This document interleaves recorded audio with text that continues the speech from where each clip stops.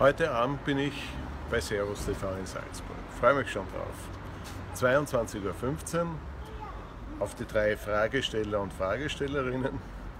Wir werden spannende Diskussionen haben und, und vor allem auch, dass wir mal darüber reden, was mir bei dieser Wahl wichtig ist. Dass die Kontrolle auch im nächsten Parlament funktioniert. Wir haben im Herbst wieder Eurofighter-Beschaffung dass es ein gerechteres und soziales Europa und Österreich gibt, weil nur das unsere offene Gesellschaft zusammenhält und dass wir unsere Heimat Österreich verteidigen gegen den rechten Extremismus, gegen den Überwachungsstaat, aber auch gegen den politischen Islam. Das will ich. Und über das reden wir heute Abend um 22.15 Uhr bei Servus TV.